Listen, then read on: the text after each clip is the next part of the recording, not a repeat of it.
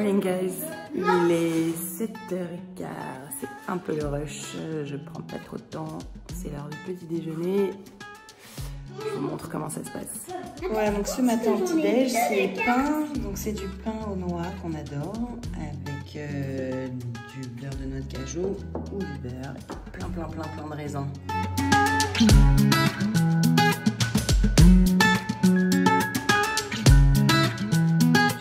C'est jamais l'hyper obéissance et l'hyper efficacité. Donc je les couche assez tôt et je les réveille assez tôt parce que pour être à 8h20 à l'école le matin, nous il faut qu'on se lève à moins à 7h15 sinon c'est l'enfer. Voilà donc pendant que les kids terminent leur petit déj, euh, moi je mange pas trop le matin. Je prends surtout du thé, il y en a plus, mais c'est du thé euh, au jasmin. D'ailleurs, je suis pas trop du matin. Si vous me croisez un matin, vous me donnez soit un thé vert au jasmin, soit un café. Voilà, et après je vous parle. Donc en gros, voilà, je prépare les boîtes de goûter des enfants. Euh, des boîtes de goûter. Je vous montre ce que je mets dedans. C'est tout simple. Voilà, donc pour préparer mes boîtes de goûter, j'ouvre le congèle. Et dedans, je prends deux grosses parts de carottes cake congelées. Vous voyez, donc ils sont congelés. Hein. Je les ai préparés euh, ce week-end au Magimix mon outil euh, génial pour préparer des milliards de trucs en avance. Donc euh, voilà, elles sont congelées et en fait elles vont dégeler pendant la journée. Et à 16h30, elles seront hyper bonnes et fraîches. Et en plus, ensuite, je leur ajoute des fruits. Là, en ce moment, j'ai du raisin facilement disponible. Donc voilà, en fait, un ça rend ça. Euh, une part, donc, de carotte cake avec du raisin. Je leur mets pas d'eau parce que euh, à l'étude, enfin au goûter là, de l'école, ils leur donnent de l'eau. Euh, souvent, je mets aussi quelques petites noix amandes dans la boîte de goûter. Mais comme là, dans ce carrot cake, dans la recette, il y a pas mal d'amandes, il n'y a pas besoin. Voilà, je voulais juste vous préciser, donc dans ce carrot cake fait maison, donc là, il est encore congelé, hein, pour ça, il y a encore un petit peu de glace dessus. En gros, c'est issu de mon, de mon guide goûter, pause goûter. Euh, donc c'est un guide en fait où je vous explique comment mieux faire manger les enfants au moment du goûter et surtout avec plein de recettes euh, super pratiques en fait qu'on peut faire en avance qui se congèlent. Et par exemple donc dans ce carrot cake, j'en fais à peu près 8-9 parts dans le gâteau et je mets euh, même pas 80 grammes de sucre. Donc ça veut dire qu'il n'y a même pas, même pas 10 grammes de sucre pour un petit goûter enfant. Et quand vous regardez les gâteaux industriels si vous leur donnez euh, un espèce de paquet d'Oreo ou de BN ou de Kinder Bueno, ils ont plutôt 20-22 grammes de sucre. Donc il y a deux fois moins de sucre en fait avec un goûter fait maison. Et surtout, bah, il y a de la bonne carotte, de la bonne amande, de la bonne farine fait maison. Il y a zéro conservateur, euh, zéro truc. Et en fait, alors bien sûr parfois ça m'arrive, hein, qu'est-ce que j'ai là dans mes placards? Voilà, donc, je vous montre un, moi aussi j'ai des trucs comme ça dans mes placards. Euh, et parfois, ça m'arrive de leur donner parce que j'ai plus rien, j'ai rien de dispo, ils ont envie. Mais d'une manière générale, quand même, j'essaye de faire au maximum du fait maison. Ça m'a pris même pas 20 minutes de le préparer. Euh, ensuite, ça cuit une demi-heure euh, et je le découpe en parts. Et il y en a toujours des frais dispo à la maison. Donc euh, ouais, ça demande un peu d'orga, mais au final, on est hyper content. Les enfants adorent. Et parfois, bien sûr, à l'école, ils s'échangent les goûters ils donnent une, part de mon gâteau trop bon et eux ils prennent un Kinder Bueno de leurs potes. Mais quand même de plus en plus ils sont contents d'avoir euh, les trucs faits maison, ils s'en rendent compte. Voilà les goûters que je glisse dans le sac de maternelle de ma fille et dans le sac de CM1 de mon fils. Il est 8h20, c'est le rush rush absolu, donc on y va, go go go go je ne sais pas comment on a réussi à être prêt à l'heure, 8h15, 8h20.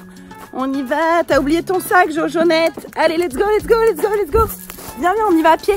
Le matin, dès qu'on peut, on emmène les enfants à l'école à pied. Euh, parce que c'est plus sympa pour eux, ça leur fait un peu une promenade, ça les calme. Et puis ça fait beaucoup de pas. Voilà, ça me fait à peu près 3-4 000 pas quand je fais l'aller-retour euh, dès le matin, donc euh, c'est une bonne façon de rajouter des pas à sa journée. Sauf que ça traîne derrière. Johanna, avance Voilà, changement de décor euh, au bureau, changement de tenue surtout. Mieux que la pause clope, mieux que la pause café, la pause running, idéal pour le team building et pour se vider la tête sans toxique. Let's go. Voilà, milieu de séance. 21 minutes à peu près pour arriver euh, en haut du parc de Saint-Cloud et cette vue que personne ne pourra jamais t'enlever. Tour Eiffel, la Défense, de tout Paris. Discussion entre collègues. J'essaie de faire ça au moins une fois par semaine, soit un fractionné au stade, soit un run euh, dans ce coin. C'est beau. 45 minutes, 50 minutes de pause qui fait vraiment la différence dans le reste de la journée. Ça fait du bien. C'est beau. De retour au bureau, euh, late lunch, désolé du coup je suis coiffée n'importe comment. Après avoir couru, c'est pas grave. C'est pas comme si je faisais des vidéos. Euh, alors qu'est-ce qu'on mange après avoir couru? Je vous montre ma lunchbox que je me suis rapportée. C'est pas la panacée de fou, hein On n'a pas fait Top Chef ici. Voilà, donc on mange ça. Donc salade spaghetti, brocoli qui reste avec euh, batavia et concombre. Et puis euh, caviar d'aubergine. voilà, c'était du fait maison de ce week-end, il en restait. Et avec du très bon pain du boulanger. Voilà, deux belles tranches pour mon caviar d'aubergine et ma salade. Beaucoup d'eau, pas trop trop de sel. Ici aussi, c'est un peu la dinette euh, au bureau, mais ça reste très bon. Voilà, retour à la maison avec les enfants qui sont crevés et moi aussi, j'avoue, c'était quand même une grosse journée. J'ai pas envie de me lancer dans une grande préparation, donc bah, je vais faire mon truc de base un risotto Voilà, avec tous les ingrédients que vous voyez, je vais vous montrer. En gros, avec le Cook Expert, j'en ai pour 3-4 minutes à préparer. Ensuite, ça cuit tout seul. Et moi, je m'occupe euh, du reste. Donc, euh, bah, je vous montre comment ça marche. Pour cette recette, vous avez besoin de produits de saison. Donc là, j'ai pris des petits champignons, les dernières courgettes du marché, du riz arborio, bien sûr, un oignon, euh, du bouillon de légumes, du parmesan et bien sûr un petit peu de blanc.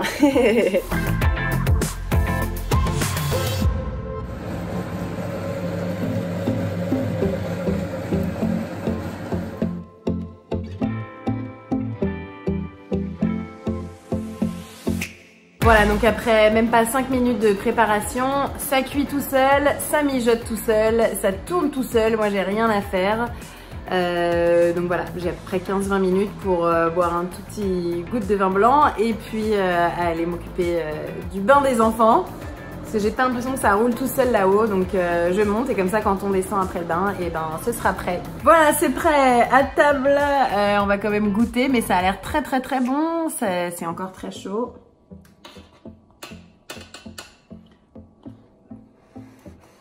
Attention, c'est chaud. Hein. Mmh. Mmh, c'est super bon. On sent bien le goût de la courgette, ça donne un côté bien frais. Trop bon. Donc voilà. Euh, pendant ce temps, j'ai pu faire euh, le bain de la petite et puis ranger pas mal la cuisine. Donc euh, c'est quand même vraiment hyper pratique. Franchement, je m'en sers tout le temps du Cook Expert. C'est vraiment devenu mon, un de mes meilleurs amis de cuisine. Le Cook Expert avec le four et le lave-vaisselle.